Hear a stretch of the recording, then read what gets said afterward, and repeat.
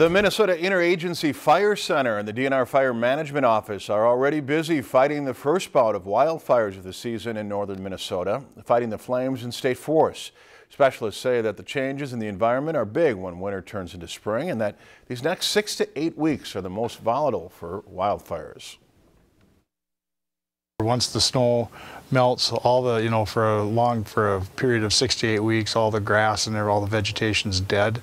And so it's real receptive to fire. So although it's raining today, uh, as soon as the rain stops, um, and whenever that is, I think it's supposed to rain through tonight a little bit. But when it's once it stops, it only takes the, a, a, fuel like a grass fuel, a real light fuel like that, only takes about an hour for it to dry out again and be able to fire to, to light on fire again.